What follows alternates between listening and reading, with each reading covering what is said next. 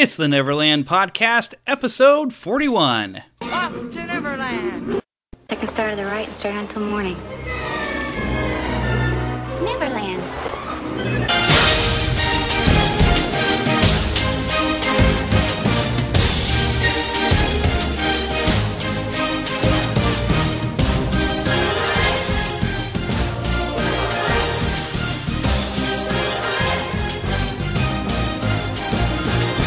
Good morning, Neverland!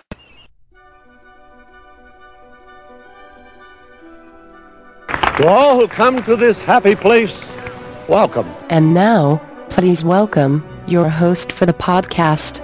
He's the pen. I got pen sword on the pen now. Actually, I got his microphone. You've grown up. You promised never to grow old. Here age relives fond memories of the past. His nose got real big. Well, welcome back to Neverland, Neverland. And now, your host, Jeremy. Hello there, Neverlanders. It is good to have you here again. Thank you so much for downloading us again this week and spending some time here in Neverland. We want to get started right away. We have so much fun to have that uh, let's just go ahead and get that pocket pixie out there, sprinkle some of that pixie dust around, get your happy thoughts, and let's fly away here to Neverland. We've got some fun news to cover this week, and also I have a very fun interview with a nice lady named Kaye Malins. Uh, she lives in Marceline, and the and she works in the Chamber of Commerce. Uh, well, not quite the Chamber of Commerce there, but she works in the headquarters for ToonFest, which is the event that I've been uh, sending, playing a promo for you and letting you know about. Uh, but she works there in the offices of Toon Fed and Toonfest and helps coordinate it. And she spent some time with us this week. Uh, it's a really fun interview. You're going to hear a lot of fun things about Walt Disney, uh, where she got to meet him. Uh, just all kinds of different things. A lot of fun. We have so many wonderful things that you're going to be able to uh, experience there at Toonfest, and I really hope you're going to be able to come. Uh, but we have so much stuff that we need to cover that I just need to go ahead and dive right in. Now, I want to start, of course, with the, probably the biggest news uh, that really came out this week is that at Epcot, so, you know, it's known to some as Epcot Center, but at Epcot at Walt Disney World, Maelstrom is closing down, and I believe it's supposed to be around October 1st is the is the closing date. Uh, I've been getting my information here mainly from the Disney Parks blog, and I haven't seen a specific date mentioned. But if you really like Maelstrom, and I, I did get to ride it while I was down there, and I did enjoy it, uh, this is your last chance to go and get a ride because it's going to be completely changed.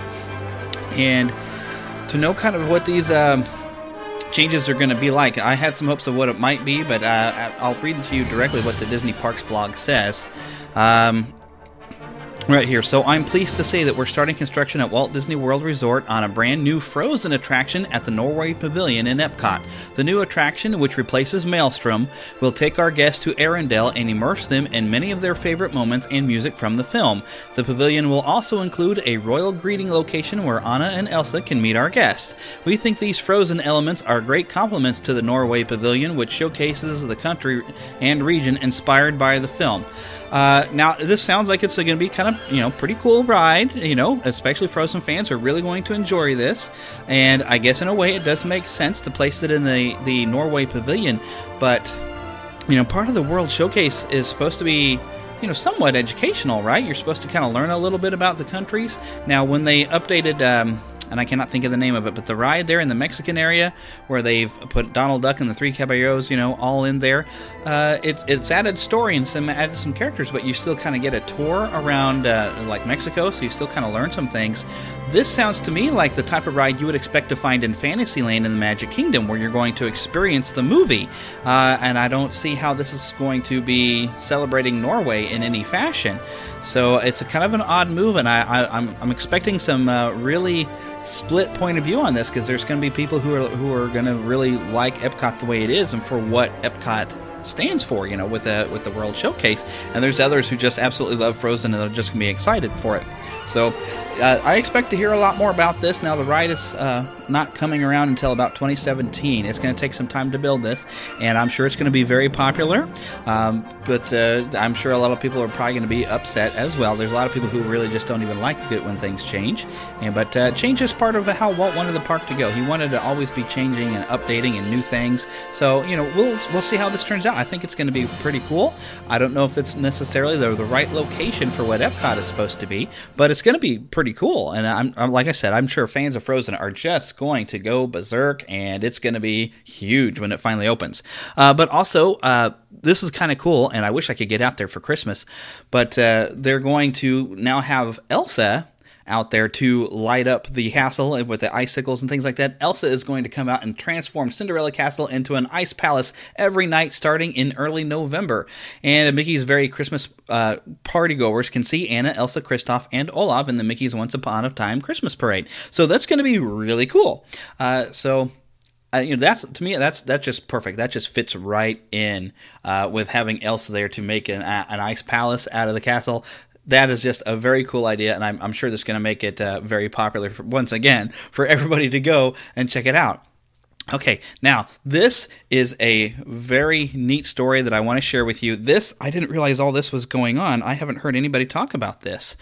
But there is a couple, uh, Larry and Kelcie. Now they're they're known as Larry and Kelcie Ragsdale. Um, well, their story is very unique, and I went and I grabbed uh, some audio. They there was a, a, special story on Good Morning America on August 26th about this, and this ties very nicely in with Disney News. Uh, you probably have heard of this couple before. I remember seeing the video uh, of this couple. Uh, they had known each other since they were were children, had been best friends, and fell in love, and had known each other pretty much their entire lives, and uh, things take take a very st- different turn, a very sad turn, but yet it is. Uh, wow, this has just got a happy ending written all over it. So grab your tissues and listen to what was on Good Morning America this week. This footage, once again, comes from ABC.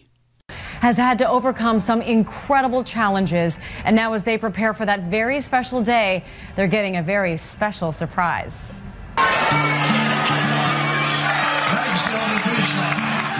Was a high school track and football phenom. She was student body vice president.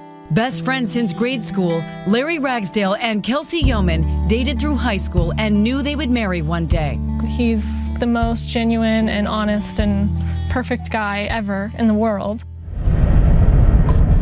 But tragedy threatened their fairy tale life as they drove by an accident scene one night. I'm like, that's my mom's car. I'm like, is she, is she dead?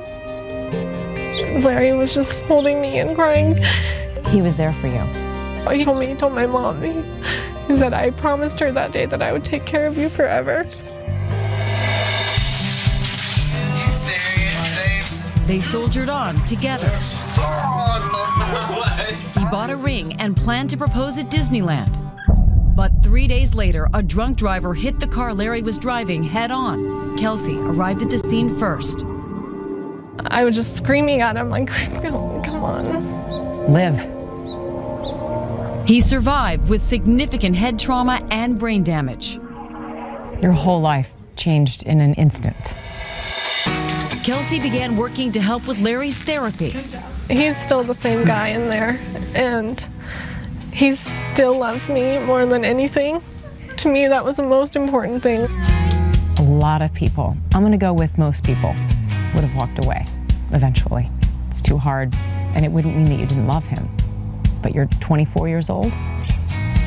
What makes you stay? That never, ever crossed my mind, truly. And I know that if I had been in the accident and had survived, I know Larry would have stayed with me because that was the kind of love that we had for each other. Larry never forgot about the ring or his plans to propose to Kelcie.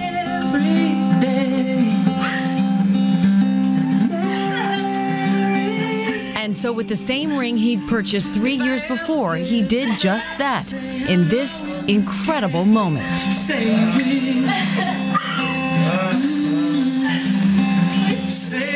I mean, look at the two of you. You haven't stopped smiling. you, You bring out my smile. Their dream was to get married at Disneyland, but they couldn't afford it. So Kelcie's sister posted this video online and donations poured in. And next week, they will have their dream wedding at Disneyland, four years and a lifetime in the making. Just the love and support we've seen from people that we have no, you know, no clue who they are, where they live. But what Kelcie and Larry don't know is that we have something in store for them straight from Disneyland. We have a little surprise for you. Oh my gosh. It is by royal decree that you are bestowed with a magical five night honeymoon at the Disneyland Resort, a place where fairy tales and dreams really do come true. Their reaction, absolutely priceless. And to see the love radiating between these two. I'll marry you right now. The most heartwarming sight of all. Love you. Now, I remember seeing a video about this couple and showing how uh, she has worked uh, kind of like a nurse for him and has been helping with his therapy. And it really touched my heart when I first heard about it. I did not know there was a Facebook campaign and people were donating and giving and trying to help them out. And now they have had a wonderful Disneyland wedding on September the 7th. And as you've heard, they had a five day honeymoon given to them this past week. So they've gotten to spend that whole week in Disneyland. I think I'm going to have to track these two down and talk to them on the show because this is a, a, wonderful story. I love the happy ending. This is like a real fairy tale. And what's cool is Disneyland had already done some uh, some modifications now to the coach. They were, you know, they got to ride in the Cinderella coach, and there's a wonderful picture on the Disney Parks blog that shows them in the coach, but they had to do some things for him to be able to get in there because he's wheelchair bound. He's paralyzed apparently from the waist down. Uh, and so there's a wonderful picture of them in the in the uh, the Cinderella coach, uh, but they had to do some modifications to to help. So this is great. You know, this is this is helping you know other handicapped people to experience the same type of thing. If they're in a wheelchair and everything, they can still get into the uh, coach. So lots of wonderful things happening with Disneyland. Uh, I I'm just loving this. This whole story is just fantastic. And uh, so, any of you that are currently in tears and, and enjoying that moment, go ahead and wipe them away. Here's something else that's really cool. Guardians of the Galaxy is continuing its worldwide domination. It, this Saturday here, it is hitting 600 million worldwide and is still ranked number three at the box office. This movie just cannot seem to do any wrong. It's just uh, a mega power at this point. I'm kind of wondering. Uh, I don't remember what the final numbers for Frozen were uh, worldwide, but I'm kind of wondering if it's going to beat or maybe has already beat Frozen. I mean, this movie is just going gangbusters because everybody's seeing it once and then going back and seeing it again and probably again and again. Uh, this this is just fantastic because it is a good movie, and it, I'm very excited about this because I'm a Marvel nut anyway. Uh, so having a Marvel movie do this well is just fantastic. And we are, of course, expecting that sequel July 28th, 2017. And it's a great week for it to hit it because actually this week, uh, if any of you went into a comic book shop, and if you if you haven't, go ahead and get in there because this was completely free. But Marvel is celebrating 75 years of existing as a company. It wasn't always named Marvel, uh, but uh, there's a really nice free magazine that I was able to pick up at a comic book shop, and I've been reading it. I haven't finished it, but it gives a complete history of the company.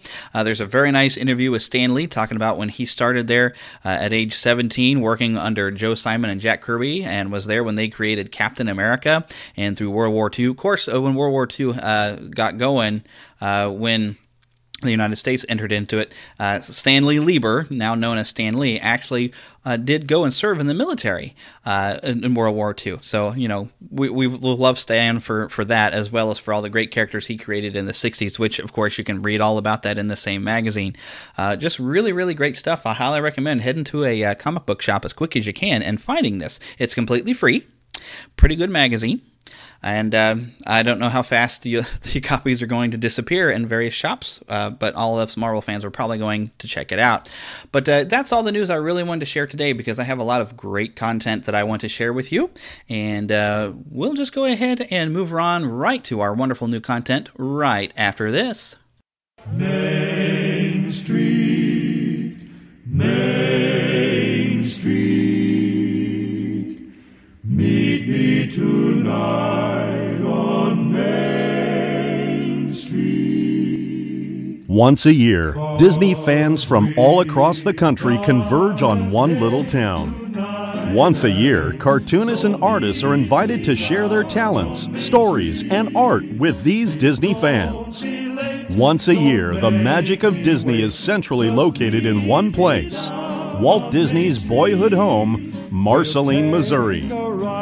The Neverland Podcast invites you to come to ToonFest 2014 in Marceline, Missouri, September 20th, 2014, for a visit to the original Main Street, USA. Jeremy, host of the Neverland Podcast, will be there to meet you with prizes.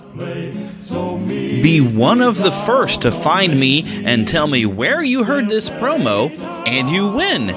It's kind of like Where's Waldo, only with a bit of Disney magic thrown in. He could be watching the parade, shopping for classic Disney items in the antique shops, exploring the Walt Disney Hometown Museum, listening to a cartoonist at the community center, visiting Walt's Dreaming Tree, or eating something. I'll be the guy in the Neverland Podcast t shirt stuffing his face. Small town festivals have some of the best food. Kettle corn. Mmm. For full details, visit www.neverlandpodcast.com or www.toonfest.net. If you're planning to make a trip to Marceline, Missouri on September 20th, Jeremy would love to meet you. The parade begins on Main Street at 10 a.m. Central Time. Don't miss it. All right, Neverlanders, we have yet another special guest on this week. Uh, this time, we don't have any sort of a voice actor or celebrity or another podcaster. We have someone who is going to tell us all about ToonFest, which now you probably remember that I've been playing these promos for the past few weeks, uh, talking about how I'm going to be at ToonFest this year in Marceline, Missouri. Well, I wanted to give you more information about it, so I found someone who can talk to us. And so we welcome with us Kaye Malins. Yay! Hello from Marceline. Hooray! Marceline, Walt Disney's boyhood home. How cool is that? It is very cool, and it's great to live here and get to experience that every single day. Yeah. So, uh, is that something they teach y'all when you're like you're freshly born into this area? But by the time you're two years old, they're like, "Did you know Walt Disney lived here?" Yeah, it's just kind of inbred in everybody here, and uh, we have great young people here that understand the story and help us celebrate that. You know, a lot of good things happen in Marceline and have happened in Marceline. Yeah, uh, golly, because I, I had no idea about any of this until like uh, in the fourth grade we did a study of historic people from Missouri. Yep. And uh, you know we went through you know well, Daniel Boone and uh, Lewis and Clark and everything, and then suddenly teacher says, by the way, did y'all know Walt Disney grew up on a farm here for a few years? Mm-hmm. And I was like, whoa! And they told us about the dreaming tree in class and everything, and uh, that had kind of you know been set behind in my mind until uh, some friends of mine on uh, their honeymoon actually had crossed through, uh, going across on 36 Highway there. Uh, on their way to Hannibal and came back with pictures of the Walt Disney Hometown Museum. I was like, "What?" So yeah, it's very cool. So I had to go. You, well, we're glad you did. Yeah, so this will be, I've been there now for the past four years, coming to ToonFest, Mhm. which is this really cool event you guys have been holding for how many years now? Uh, this is our 17th year. Seventeen years. Yes. My goodness. So how did it uh, get started? Uh, well, it, we really started fairly small. It was just a couple of ladies here in Marceline that worked, volunteered with the Chamber of Commerce, and they thought we need to have another activity here. And they were thinking, hmm, Disney mm, cartooning. And so it started out with two local cartoonists in little red wagons, and uh, it has evolved into kind of a signature event for a lot of cartoonists. We get the A list. Um, early on, we were kind of begging people to come because they didn't exactly understand what we were doing. Uh, but now people come from all over the country. It's just a really fun, fun day. Oh yeah, I've I've had so much fun, es- especially since it's got that that small town feel. Exactly. Especially on Main Street, and get to, to walk on the original Main Street is really special. And even I love the uh, the lights and the lamps you have on the streets, labeling it as Main Street, are just fantastic. Yeah, the, the, our street signs are pretty unique. And actually, in uh, 2001, the uh, Mickey Mouse came to to do the ribbon cutting for our new street signs on the original Main Street USA. So, yeah, people love our street signs. We could actually sell those street signs if we wanted to. I bet you'd find a buyer real easy, too. I think I'm satisfied with taking a picture. I don't think I could afford a street sign. But no, I don't think. Oh well, so let's get into like some bit of history of Marceline's okay. relationship with Disney, because uh, my goodness, there's a lot of things you can learn uh, just going around the streets and going through the museum there, which is a great museum. Well, thank you. We're very proud of it. There's something new every time I go too.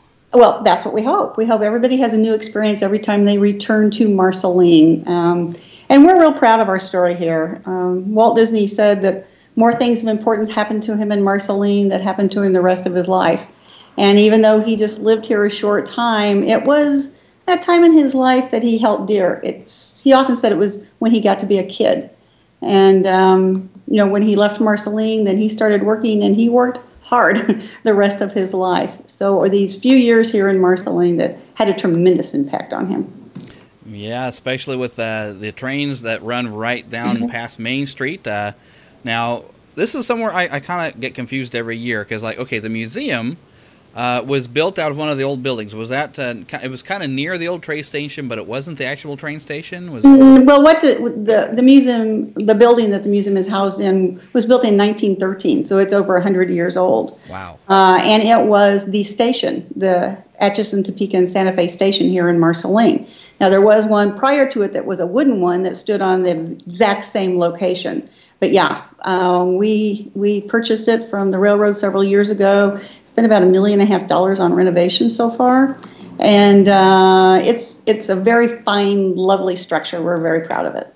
And this is around the location where Walt used to like to come and watch the trains come by he when he was a boy. Yeah, he did, and and he had an uncle who was an engineer on the Santa Fe Railroad, and his run was from Fort Madison, Iowa to Kansas City, and he and Walt had a special relationship, and he would slow down coming into Marceline. He had a special toot he did on his steam whistle, and Walt would run down to the tracks. He'd slow down the train, and Walt would get in the cab of the engine with him and ride it into the yards down here. And uh, because we were a division point on the Santa Fe Railroad, we had really large railroad yards here, and we had a, a roundhouse that would service 20 steam locomotives at a time. So it was a great place for a kid with an imagination like Walt to be and that love for trains just stuck with him his entire it, life. It did. It certainly did, and it all came from his time here in Marceline with his uncle Mike Martin, which is just awesome. Yeah, it is. So, oh my goodness! And uh, now, after he had left, though, and came down here where I'm at in Kansas City, mm-hmm. uh, spent some years here. Apparently, went back to Chicago, but then started his first business in Kansas City. But after he had finally, you know, jumping forward, mm-hmm. when he had launched the, you know, the, the Disney company with his brother Roy, uh, he came back to Marceline for a few things. Uh, I know he premiered the Great Train Robbery right there in the, the theater on Main Street. Yeah, the Great Locomotive Chase. He did, and uh, and prior to that, Walt came back in 1946 unannounced and um, had a had a strange looking camera with him, which turned out to be a movie camera. And what he was doing was refreshing his memories of Marceline for something he was thinking about doing. And in 1955, Walt did two things that tied him to Marceline absolutely forever. He did the movie Lady and the Tramp, and it's based kind of on his time here in Marceline. Wow. And if you're lu- yeah, if you're lucky enough to get the 50 year anniversary edition of Lady and Tramp, the whole second DVD under Lady's Pedigree talks about the importance Marceline played in the making of that movie. And that very same year, he opened a little place in California called Disneyland. Ta-da! Yay! now, when he announced he was going to open that park, practically every newspaper in the nation had the headlines Disney's folly, he's wasting his money, no one will ever go. Well, he proved him wrong. Very wrong. yeah, and he used his memories of Marceline for Main Street USA. Mm-hmm. So even today, if you go to Disneyland, you will find the Hotel Marceline right on Main Street USA. If you go by the theater, the man- mannequin in the ticket booth, her name tag reads Tilly, Marceline, Missouri. And if you want to buy candy at downtown Disney, you buy it at Marceline's Confectionery. So there's still a lot of Marceline at Disneyland. Fantastic that's got to give you like that hometown pride thing just to think, yes. Here it is. Yes. Here it is. Yeah. uh, me and my buddy Phil, we actually kind of we love the name of Marceline because it sounds like uh, you know, Maybellene, why won't you be true? So we start singing Marceline, we're coming to you, you know. Yep. it's just great fun and everything to, and have that much history. Uh, and also, Walt came and uh, donated or set up like a, a, kind of a miniature version of the Autopia there. Yeah, well, uh, Walt had big plans for Marceline. He actually was he was such a visionary. He said, "There'll come a time when a child will not know what an acre of land is." There'll come a time when a child will not know what a, uh, what happens when you put a seed in the ground. So his idea was really to have a 1900s working farm here in Marceline. So there was a committee formed here in Marceline to work with Walt, um, and they purchased his boyhood home farm here in Marceline for Walt. And he was doing all this through his private company, which was called Retlaw. Um, so the Midgetopia ride was sent back to Marceline as the first of many things that Walt had planned to send back here. Uh, but his untimely death uh, put an end to the Marceline project. Oh, kind of wish the Disney company would step up and actually build something there in Marceline. It would be awesome. Well, it's a, we have a wonderful story to tell, and we love sharing it. You know, we have thousands of people that come here a year from all over the world, and it's just the most enchanting thing to watch how they perceive us and how their Marceline experience it really has an impact on them as well. So it's it's a lot of fun here. Yeah, and Walt actually has a school named after him over there. He does. Walt Disney Elementary School here in Marceline, and Walt attended the dedication of this school. And um, at the dedication that day, he said, "You know, I'm not a funny guy. I'm just a farm boy from Marceline who hides behind a duck and a mouse." um, and he gave us some lovely gifts. The interior of the school is all designed with one-of-a-kind Disney murals, which are all still there today. Um, and you know, when it opened, um, every classroom got a brand new set of Encyclopedia Britannicas, which wow. back in the day was huge uh, for each classroom to have that. And he gave us two very beautiful flags. One was this beautiful embroidery flag that flew over Sleeping Beauty's castle, and the other one was a Mickey flag. And you know, when you think of Mickey, you usually think of red, yellow, black. Well, our flag is orange and yep, and during Walt's lifetime, the only other place that orange flag was allowed to fly was over his apartment at Disneyland. So wow. that flag is really special to us. now, when people visit Marceline, and I've kind of wondered this myself, and I kind of went looking, but I couldn't find it. But can you actually visit the school and go inside and see the murals? Uh, well, what you can do is you can look inside the front door and you can see the murals that are in the lobby. And if the school is open, you go by the office, which is right there, and they'll certainly give you a pass so you could stay there in the hallway and take photos. Oh, cool. Very cool. And he also gave us a flagpole uh, at the dedication of the school, and it was from the Squaw Valley Olympics. Uh, and that's still the flagpole that we use at Walt Disney Elementary School today. During Toonfest, though, will the school be open? Because I figure the office out of school might be closed on a Saturday. It is closed on a Saturday, but don't hesitate to go down there and look in the windows. Uh, you can see some of the best murals right through those front windows. I'll have to make sure I get a map because I, I tried last year to find the school and I just didn't have any luck. and I didn't want to get lost in somewhere I didn't know where it was. It's only two blocks from the museum. You can actually walk there from the museum. yeah, so we'll, we'll, we'll get you there. That's probably why I didn't find it because I hopped in my car and I started doing circles around the neighborhoods. yeah, well, and you know something's interesting. They are doing some construction down there uh, in front of the school, which is a good thing. So be real careful when you go down there. And also, Marceline, uh, now that I remember, doesn't it boast like one of the first swimming pools that uh, Walt Disney actually was there for the dedication? Oh, yeah. We had uh, Walt Disney came back in 1956. He'd been a little busy in 55 opening Disneyland and doing the movie Lady and the Tramp. And so in 1956, we decided to build a public pool here, which was pretty darn progressive for a little town of less than 3,000 in the middle of the 1950s to have a public pool. So they passed the bond and started building the pool, and they go, ah, What are we going to call it? Go, Let's write Walt Disney a letter and see if it would be okay if we named it Walt Disney Swimming Pool and Park. Just hoping he'd say, Go ahead. First letter back was he was thrilled. Next letter back was, we going to have a dedication? Well, we sure could. Well, he sure would like to come, and Roy'd like to come, and they'd like to bring their wives. So in 1956, Walt came back to dedicate the swimming pool and park. And that's when I really did get to meeting. Because, wow. yeah, because my parents had just built a brand new ranch style air conditioned house, and the Disneys were coming in July, and our hotel wasn't air conditioned. So one night at a city council meeting, they said to my father, How about the Disney stay with you? And without asking my mother, my father said, Sure. uh, well, they were a young couple, and they had spent every cent they had on this brand new ranch style air conditioned house, and the furniture wasn't so hot. So it got closer to the time for the Disneys to come, and, and my mom said to her friends, I don't think I can do this. It's the Disneys, and our furniture is just junk. And they said, Oh, you have to have them because you've got the air conditioning. Said, Don't worry about it. We'll move your junk out. We'll move our good stuff in. So we still laugh about it that it took the whole town to get ready for the Disneys. Um, but it was totally unnecessary because they wouldn't have cared what kind of furniture you had. they were probably just happy to be there back in the old hometown. They were happy to be back in their old hometown. Oh my goodness. Well, that's a fun story. It is. It is. Yeah. Now, is that part of? Uh, I hear there's been a documentary made about Marceline that a, a young film student came along and made. Well, and, there's uh, been several actually through the years, and oh. uh, yeah, um, uh, John, um, his name just left me, but anyway, he's going to be at ToonFest. Um, young man from Columbia, Missouri, and uh, he just made a cute little documentary. Uh, we have one that was made several years ago that we just screened actually uh, at the Walt Disney Family Museum in San Francisco and uh, it's it's a great documentary, and it tells a lot of the stories that we're sharing here. And you can purchase it. It's called Marceline, of course, and you can get it at the Walt Disney Hometown Museum.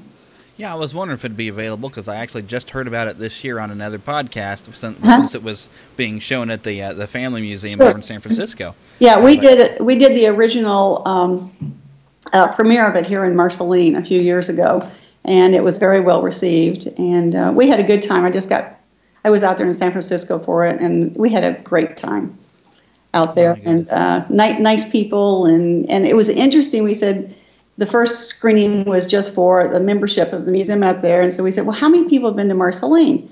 And half the hands went up. So that made us feel really good to think that you know that many people had taken time to come and see us here in Marceline. Yeah, all, all us Disney diehards, this is like Mecca. yeah, I know it's so it's so exciting. It is fun yeah, that's the thing is, uh, uh, I myself, I've been to Disney World once on somebody else's dime, and my wife has never gone. And so then after I'd gone there, I was really nutty uh, on the whole thing. So that's when I was like, oh, I got to go visit this ToonFest thing. Yep. So that's when actually when I started going, and I brought my wife along with me, but she doesn't quite get it yet. Ah, well, you know, some people it takes a while longer than others, but uh, we'll get her eventually. Yeah, I'm gonna I'm gonna try to get her to come along with me again because you know she loves small towns anyways, mm-hmm. and I think she still enjoyed herself, but she doesn't understand why it's fun to just keep going back every year.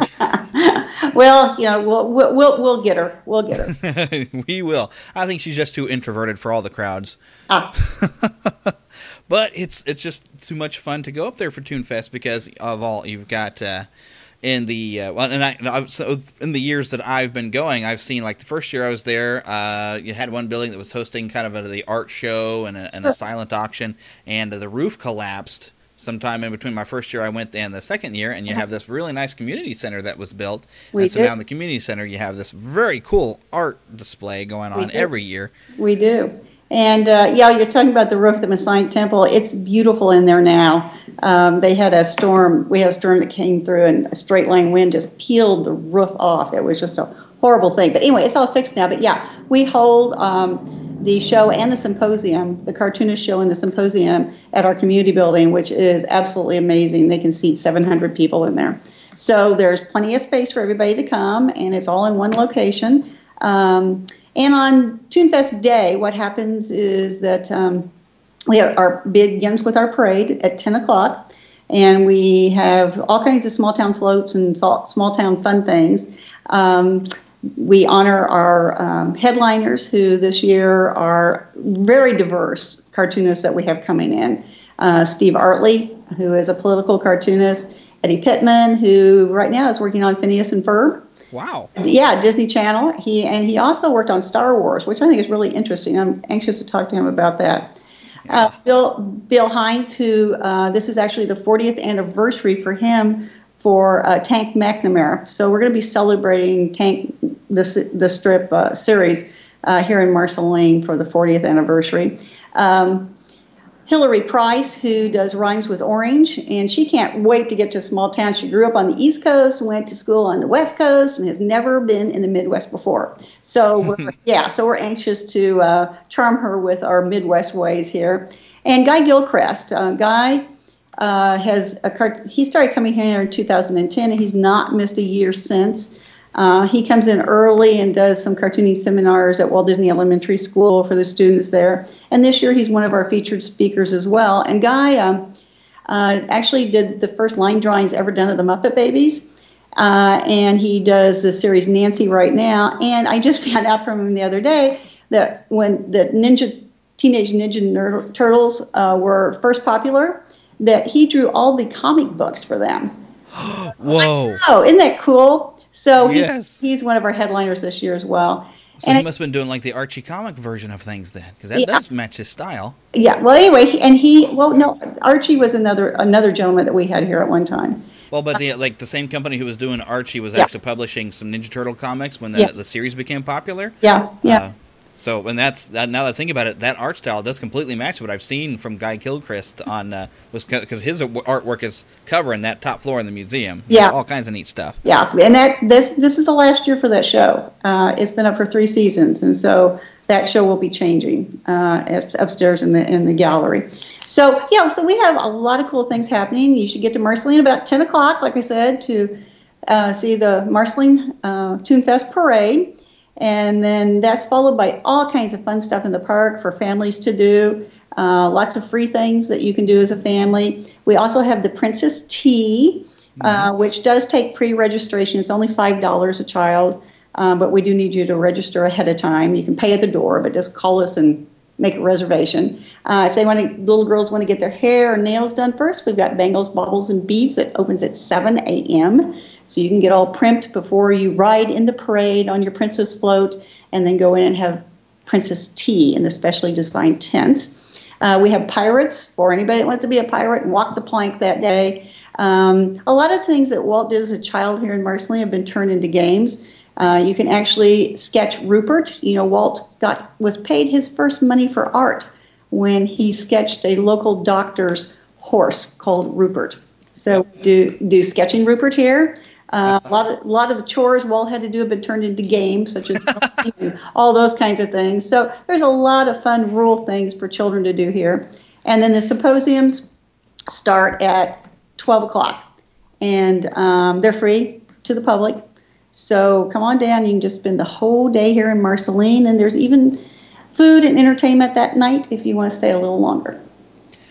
Yeah, and I may have to stay a bit later this time around because I usually try to leave around three or four so I can get myself home in a reasonable time because I'm usually just wiped out because I I'm I'm just going crazy all day you know, driving there and just running around. I love going to the antique shops because they have all kinds of neat old Disney merchandise and even if I can't afford some of it, it's fun to look at. It's fun to see, isn't it? Yeah. Oh, it is so awesome! And but I always come back with a couple of uh, old classic vinyl records. Mhm. Uh, I've gotten a Peter Pan soundtrack from there, a Jungle Book soundtrack from there. Just oh my goodness, I have so much fun. Yeah, we want you to come. We want you to spend time in our stores as well. We have an ice cream shop here that makes seven kinds of homemade ice cream daily.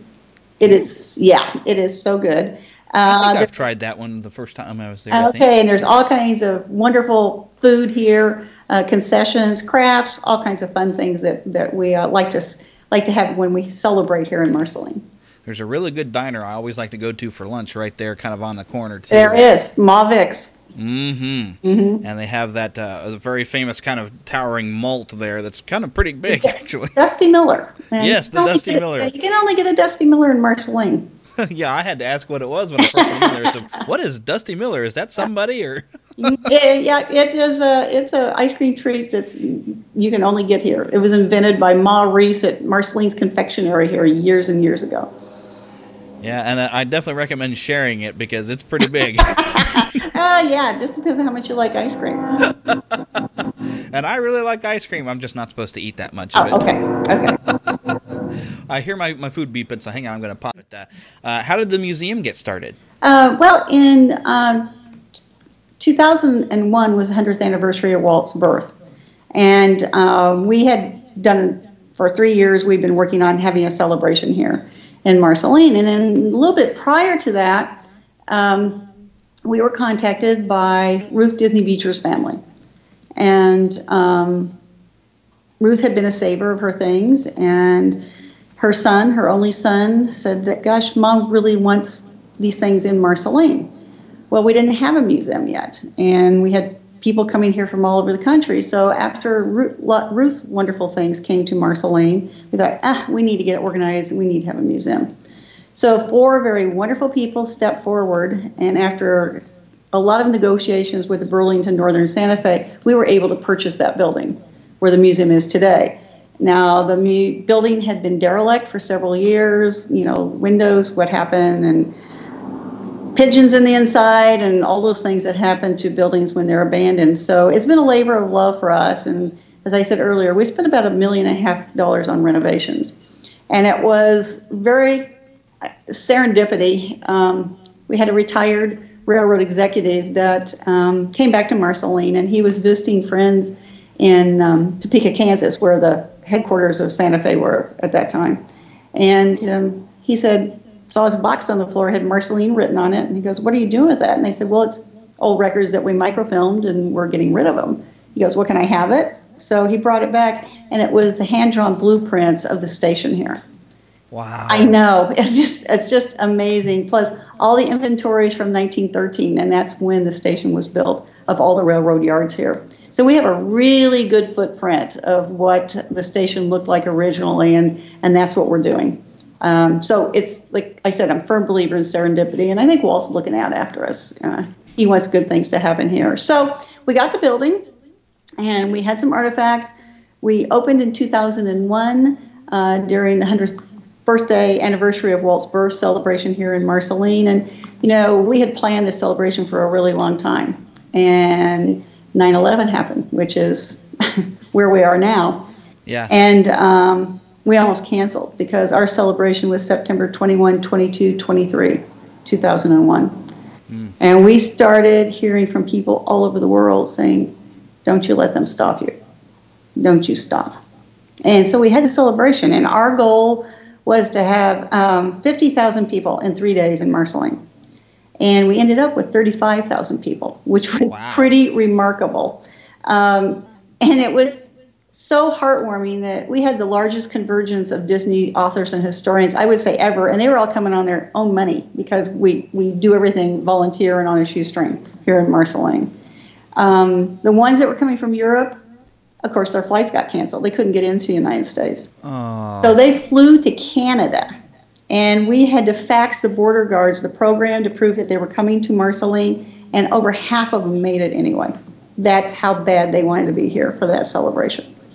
So uh, it was a celebration not only for Walt Disney, but of spirit. So that kind of kicked us off. And um, since then, every year we're growing. Every year there's more exhibits. Um, you know, here in Marceline, not only do we have the Walt Disney Elementary School, the Walt Disney Swimming Pool and Park, but our post office is the only federal building in the United States named after Walt Disney. And yeah, it's a neat post office. Isn't it cool? And it's the only place that you can get a very special hand cancellation every day. You just have to go in and ask for it. Um, so you know, there's and we have a Disney farm here and uh, the Dreaming Tree. So there's a whole lot of Disney here in Marceline. Oh yeah, a lot of things to do. You can keep yourself busy all day, and you can you I you. It's hard to remember to take time to just relax because I, I wear myself out. That's okay. Which is why I've kind of left early because I'm so tired and I'm thinking, well, golly, maybe this year I should you know go to a hotel and I can take a little nap and then come back and but it's like you don't want to leave once you get started. You're just like, oh, but there's all this, and I haven't looked at this, and I want to hear all these cartoonists talk. yeah. I, even uh, there was uh, first year I was there, there was a cartoon I had never even heard of before, uh, and I cannot think of it, but it's a, it's like a little boy genius. Uh, and I just sat and just listened to the guy talk about how he came up with. Edison. Yes, Edison Lee. Yeah. I, I had never heard of it before, but I watched him go and talk about designing the characters, and it was just it's fascinating. It is, and and cartoonists are very very giving people. Um, on the Friday before uh, the public Toon Fest celebration, we have um, symposium just for high school students, and the first few years we did it, we were knocking on schools' doors and saying, you know, this is what we're doing, and they're going, what is this? Well, now this year we have 450 kids registered, high school students. Wow. that come in on that Friday, and uh, it's it's free. They just we just need to know how many students are coming because we also provide lunch for them. And getting to be work firsthand and hear these cartoonists up close and personal is something you know students in rural areas do not ever get to experience. So it's it's a great day for all of our students and you can really learn about about uh, pursuing your passion and working hard for it and not giving up because it's not easy to No. you know to get recognized as a cartoonist. No, and these guys all have the most unique stories of how they got started in the business and how they came up with their with their characters or characters and the evolution of that process and going from you know most a lot of these guys started drawing way before there were computers you know Yeah. that everybody used to CG things and so you know it's really a kick to watch some of them draw um, because every they did everything by hand so that's that's a, a and the process they use is just amazing Oh yeah.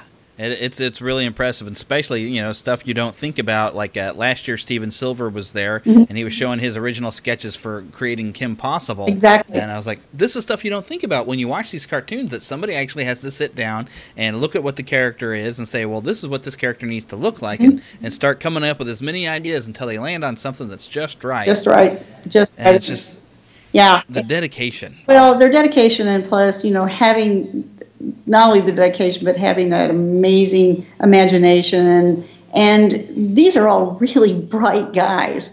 You know, they're huge students of, of human nature and they all watch the news very closely and you know, they can talk about any subject. They're really, really bright, bright people. So uh, it's it's always fun to have them here and hear their stories. Yeah, it's definitely a highlight because I, I love cartoons. So Well, then you're in the right place. yeah. you know, and we So I- had one of our, our headliners this year um, was saying, I, I think it was, see, I think it was Steve Artley. He said he's never been, he's been to hundreds and hundreds of cartoon celebrations, but he's never been to a town where the whole town celebrates. and I got, oh, you know, that's pretty cool. Yeah. Well, because really, un- unless somebody's an old funny daddy, they everybody loves cartoons. Mm-hmm. You know, that's the favorite part of the Sunday paper, really. well, and you know, if you if you look at the history of cartoonies, it's pretty much the pulse of what's going on in the country at that time. yeah, it is. World, yeah, and they just they just sell it to us in an entertaining way. Yep. It's it's kind of like what every comedian says they try to do, where they try to just you know I'm going to tell this in this perspective and say what you would have said in the same situation. And that's what makes it funny. Exactly. But with the cartoonists, they get to create it from scratch and and still tell that same kind of joke. Yep. In just three panels. Exactly, exactly. And it's just amazing and it's I, I have so much fun going into the uh, the gallery area and just reading everything so i try to get there a little bit before 10 so i can read everything go out there watch the parade and then go out to the I, well of course i always have to cross the street and visit the toonfest offices Yes. and watch the cartoonists signing their name and drawing their characters on the walls Exactly, and that, that's where we're talking from right now. So um, it's a really fun office to work in, and Yeah. people, people come in here and they're going, "Wow!" I go, "Yeah, we have some pretty interesting walls around here." yeah and i take the same pictures every year of like a collection of all the disney toys and then the big uh, picture you have of walt that's kind of done as a mosaic with a hidden mickey in there Exactly, and th- and those are all just fans that have sent these things into us. Um, we have we need to start kind of rotating because we're we're getting a whole lot more things than we have out now. So we're probably going to have to start rotating. I could just imagine. Okay, now we got to think. Well, all right, who's going to be out today? Yeah. Did we have this version of Donald or that version? Exactly. exactly. It almost sounds like a pretty good problem to have. It is. It's a delightful problem.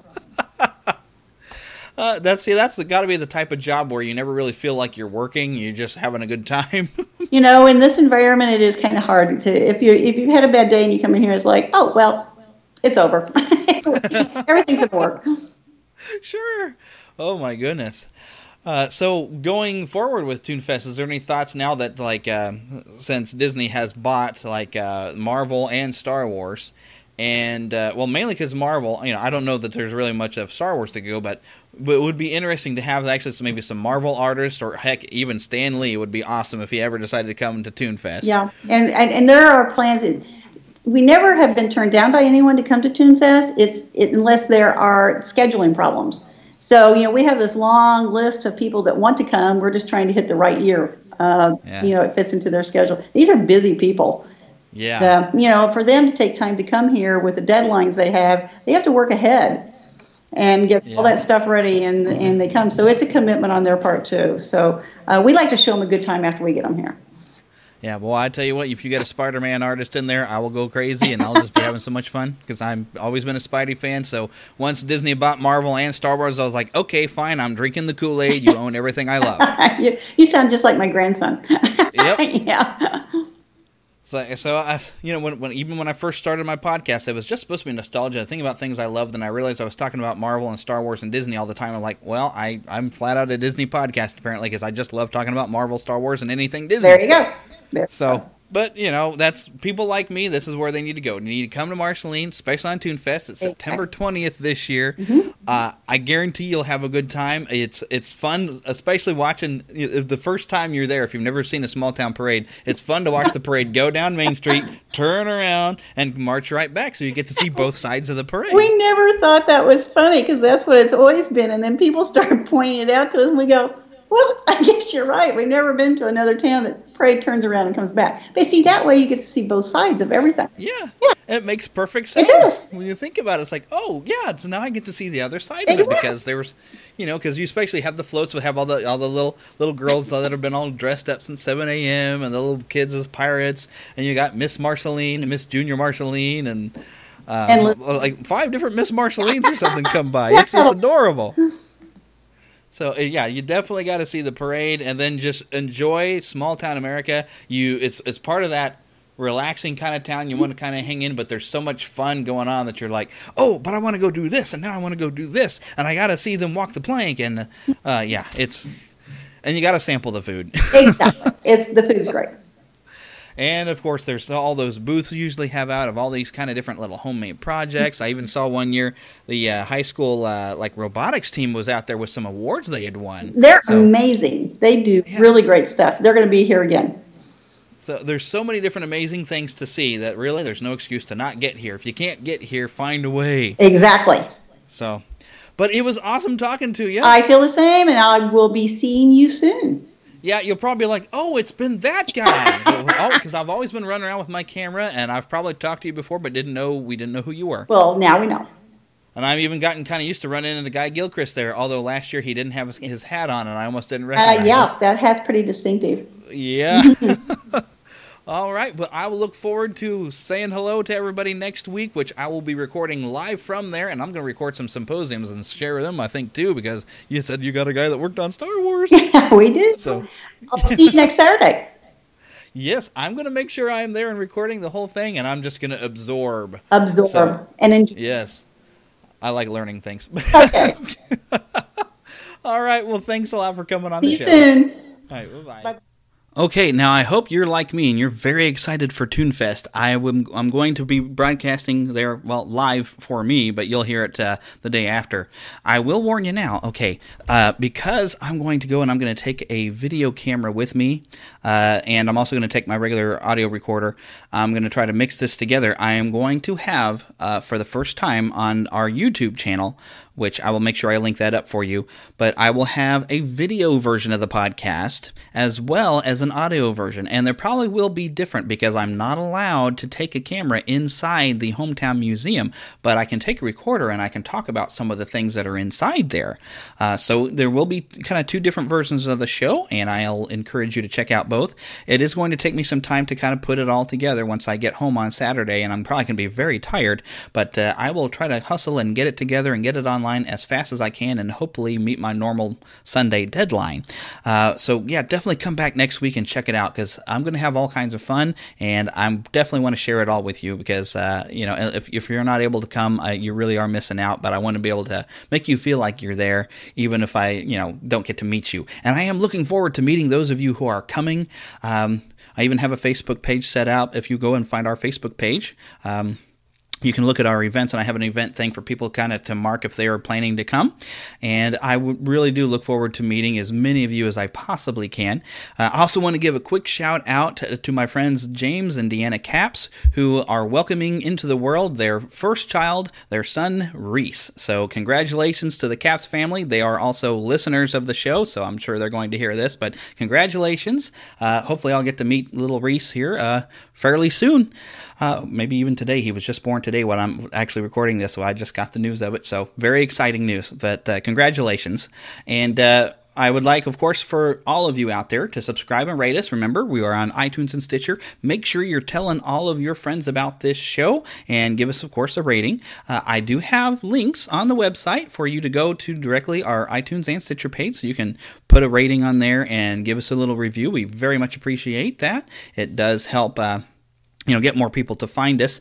And I am working on finding some kind of a fun little prize thing, maybe for people who I find are sharing the show on Facebook, on social media, on Twitter. If you are retweeting uh, my my uh, shows, uh, I'm in the works to find some sort of a you know somebody will be randomly given kind of a neat little something.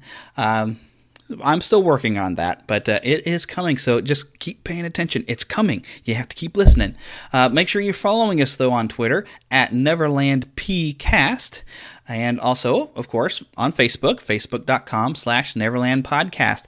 Please email us anytime you want at podcast at neverlandpodcast.com and leave a voicemail 816 226 6492. And speaking of our voicemail line, I have a couple of new phone calls from Don Juanito, which whose voice sounds very familiar to a guy who told us a funny story about landing in the Disney jail. Uh, I'm pretty sure he's kind of coming up with these stories on his own, but they're very entertaining, and he shared a couple more with us. So I'm going to share them with you because I think they're funny and I, I'm enjoying them. So here we go. Here's a couple of voicemails left to us by Don Juanito. Hello, the Neverland Podcast. This is Don Juanito. I want to tell you a story. I went to go see the Thor at the Disneyland. I, I need to explain I have charms. Do you know, do you know what charms are? It is my magical power that when I unleash my charms, magical things happen. For instance, when I went to go see the Thor at Disneyland. I walked in to go see Thor. I unleashed my charms mistakenly.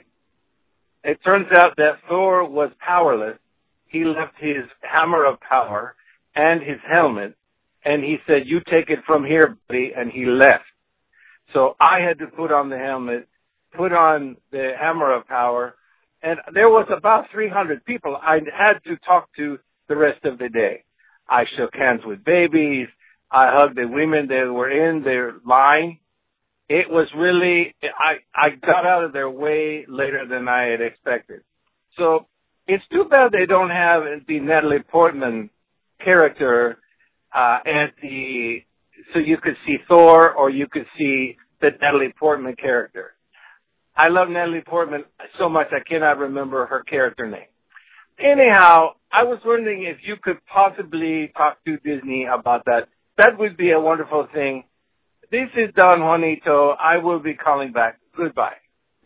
Hello again, the Neverland Podcast. This is Don Juanito calling, and I'm calling to report that I was stalked by Anna and Elsa from the Frozen movie. I was in the village house eating my lunch, not bothering anyone, I did not even unleash my charms. I was sitting there eating my lunch. And I look up and I see Anna. And poof, we lost Don Juanito in the middle of the voicemail. Uh, same thing seems to have happened to him last week, but I suspect Elsa may have frozen him. So could someone please go to Disneyland and unfreeze poor Don Juanito? Uh, maybe a little love is all he needs. But uh, thanks for calling us twice over, Don Juanito. I'm very much enjoying your phone calls and that, leaving them on the voicemail. And I hope everyone else is too, because I think that's fun and amusing. Uh, and also come back next week, everybody. We're going to be at ToonFest, as I've said before, and it's going to be lots of fun at ToonFest. I'm very excited about this. I hope you are too. And of course, as I say to you every week, remember to keep your pixie in your pocket. Which is, of course, keeping that good and positive attitude right there, easy at hand. And remember to spread a little pixie dust on some of your friends and even some of your enemies. You know, show a little love to some people. Uh, that's how you unfreeze people with a frozen heart. Show a little love. Uh, so go out there and just love people this week. And of course, we I want to hear about it. Just send us on a, a, v, a voicemail, an email. Let me know on Twitter, you know, of something cool. Maybe somebody does something nice for you, or you find a chance to do something nice for someone else. Go ahead and share those stories. I love hearing stuff about that, and uh, that's partially what this show is about is about you know happiness having a positive attitude and and you know just love on people and share the magic so uh, until next week, I'll be coming to you uh, mostly live, although it'll be recorded from ToonFest. God bless.